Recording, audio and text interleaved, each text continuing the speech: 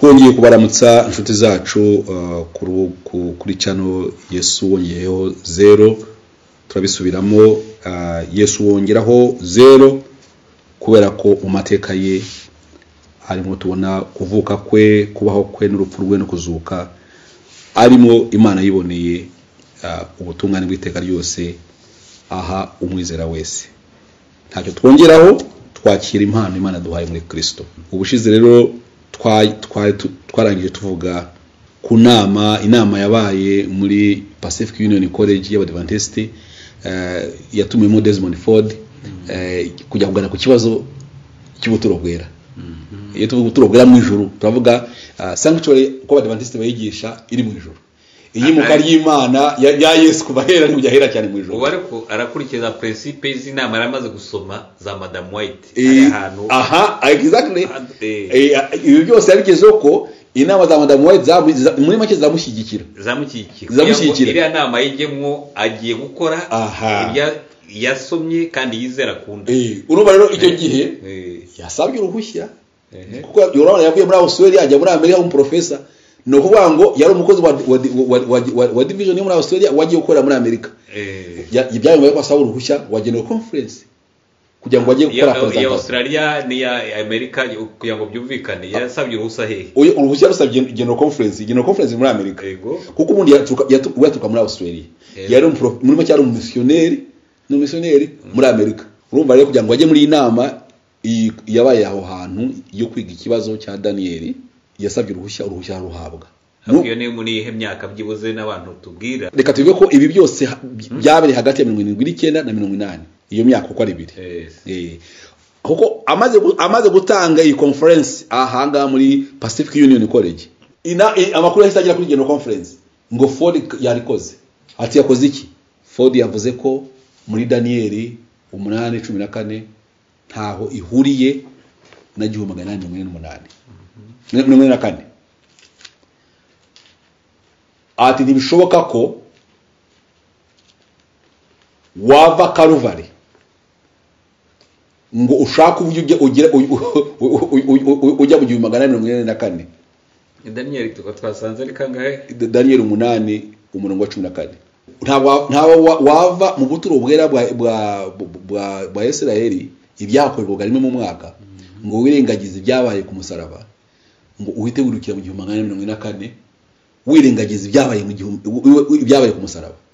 Ati ibyabereye ku musaraba ya- ya- yabyise ngo ngo niyo niyo e- e- e- event Ah, niyo event ikomeye mu mateka y'isi. Ibyabereye ku musaraba. Iyo ni muri conference. Eh, Eh, ati ati ibyabereye ku musaraba ngo iyo niyo saha y'ingenzi mu mateka y'imana n'isi ngo ngo iyo niyo saha ngo imana yabambwe ku musaraba ati iyo niyo saha y'ingenzi mu mateka y'imana n'abana b'abantu ati igihumbi magana inani mirongo ine na kane nta kintu cyahabaye uribaza ati nta yimuka geographique ryabaye mu ijuru mu gihumbi magana inani mirongo ine na kane Eh, eh, eh, eh, uretse gato oya dusubire aho hantu Eh. ngo aravuze ngo igihumbi magana inani Mirongo ine na kane. Nta cyabaye. nta cyacitse nta cyabaye rwose. Ndetse ku- kuko yakundaga itorero avuga ngo mu gihumbi magana inani mirongo ine na kane ngo ikintu twavuga twa tu- tuprofita ni uko havutse iyi muvuma. Uyu munsi twese turimo. Naho mu ijuru nta kintu cyabaye. Aho hantu rero urumva ko n'uyu munsi twebwe Eh, natwe ababishyigikira ibi Yego. badufata nkawe ariko niko biri nta cyabaye Eh. natwe turabihamya. Ati nta rubanza rw'igenzura Mhm. rwatangiye mu gihumbi magana mirongo ine na kane ku bizera ati muri daniyeli igice cya karindwi ntabwo ntabwo urubanza ruvugwa hariya ruvugwa ku bizera ahubwo ruravuga ku gahembe. Gahembe. Ku gahembe turagashyira ku ruhande tuzagasobanura ko kara gafite icyigisho gikomeye ku badivantisi Aha. Ibyo agahembe kitirirwa utari nyirako tuzagasobanura neza.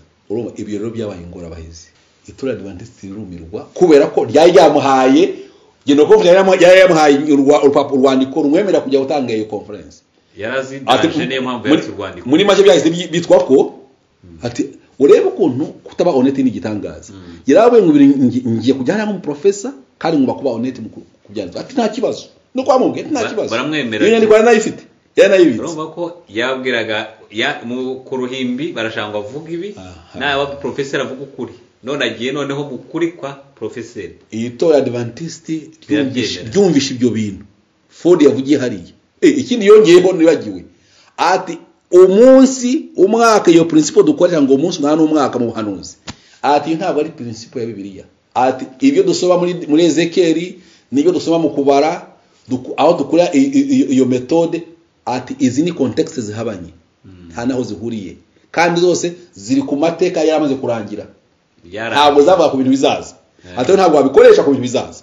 Muri make ford iyi myaka mirongo itatu n'itanu yari yamaze yari yarajonjoye inyigisho z'abadivantisiti zose azifite ku ntoki gutya. Habura n'umugisha impaka. Kandi noneho ingorane z'itorero ryagize ni uko uyu mugabo ubundi afite memo- ni memoire?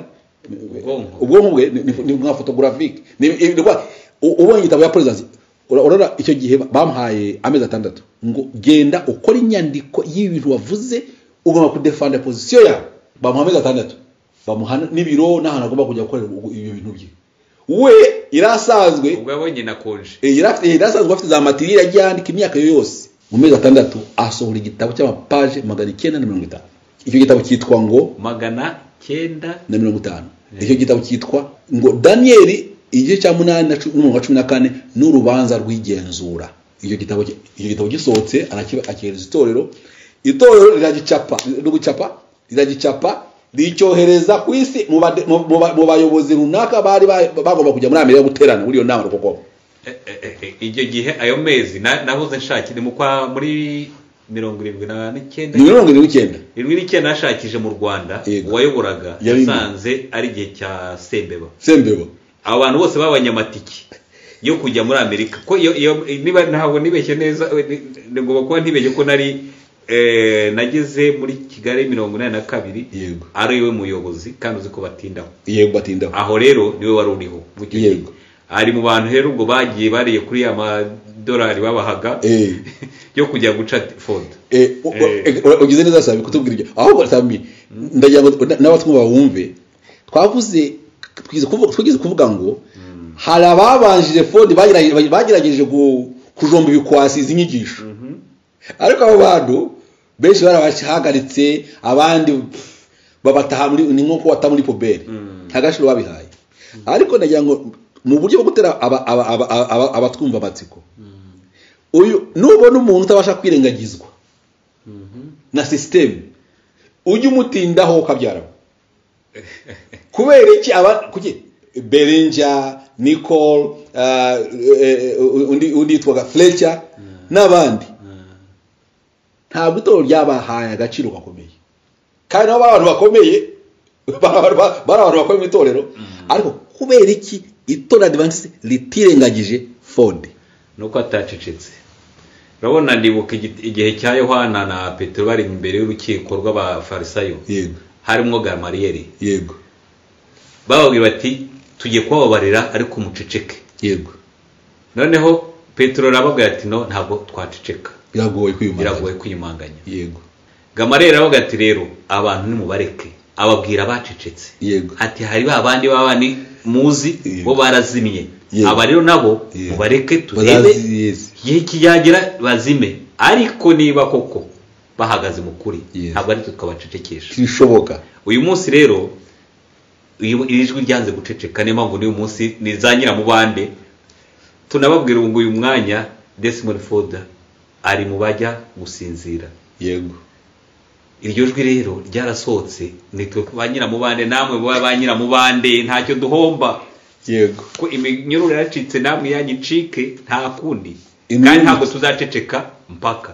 Ntawe uzaceceka Eh, turi bukomeze ku nyegamo ari ikingirije benshi. Amen.